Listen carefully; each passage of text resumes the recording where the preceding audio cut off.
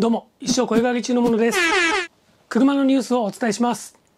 8月18日、新型フェアリディ Z の概要がアメリカで発表されました。1969年に初代が登場したこのフェアリディ Z、今回が7代目になります。日本ではこの冬に発表が予定されています。全長は4.4メートル、全幅は1.84メートルなんですけれども、この全幅ちょっとイメージつかない人はですね、近所にいる鶴の仲間、赤のガンモドキ、赤のガンモドキを2羽捕まえてババンと並べれば大体一緒です。で、今回の注目は何といってもこのデザインです。全体のフォルムとヘッドライトは初代の S30 系、そしてテールライトは Z32 系をオマージュしています。ライトグリルは全部 LED です。インテリア見てみましょう。メインメーターはフル液晶。ただし、センターの上部には3連の機械式メーターがセットされています。駆動方式は最近のスポーツモデルの流行の4駆とは違ってピュアな FR です。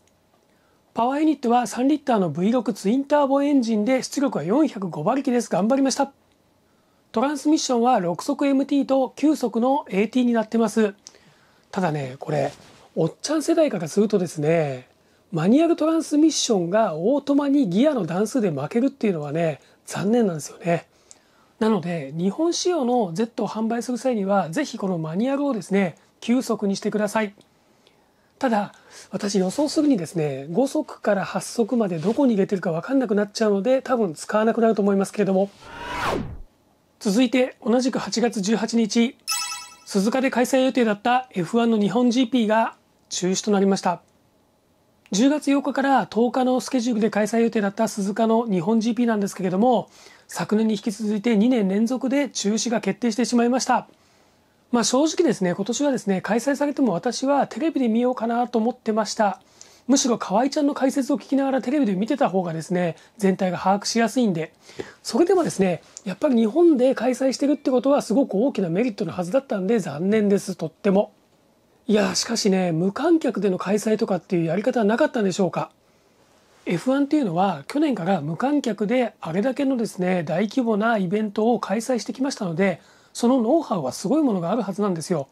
だから日本でもですね無観客でできたはずなんです。そうすれば政府や他のイベント関係者も学ぶところは多かったはずです。残念です。だから私無観客で開催されたらこうなったらいいななんてことも考えてたんですよいくつか。例えばですねオリンピックで本当は出るはずだったと言われている任天堂に協力してもらってですね参戦する前者に例えばバナナの皮をセットしておくとか亀の甲羅でもいいです。もしあれだったら来年このアイディア使ってみてください。そしてまた同じく8月18日です。スバルの新型 WRX 情報が更新されました。本来であればこの新型 WRX はですね8月19日に開催のニューヨークオートショーで公開予定でした。しかしこのオートショーがですね直前でコロナの影響で中止が決定しましてこれを受けてですね発表を延期しました。と同時にですね今回ここに紹介しているような新しいティザームービーが公開されたんです。これによるとボンネットにほら大型のスクープがありますしまたこれニュースなんですけれどもマニュアルトランスミッションがあることが確約されました。今回の映像によってですね新型 WRX の形はほぼほぼ確定しましたよね。大体こんな感じかなってわかります。でもこの映像に出てない部分にですねまだまだシークレットがあるのかもしれません。例えばパワーユニットは水平対向4気筒ターボではなく実はですねレックス用の2気筒スーパーチャージャーだとか。ないなそれは。8月13日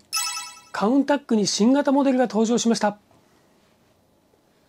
1971年に登場した初代から50周年を迎える今年なんとランボルギーニから2代目のカウンタックが登場しました。今度のモデルの名前はカウンタック LPI804 です。そのパワーユニットはなかなか強烈。V12 型のですね NA6.5 リットルエンジンを縦置き搭載してます。これ780馬力でさらに34馬力のモーターを組み合わせたハイブリッドになってまして最高速は355キロ。すご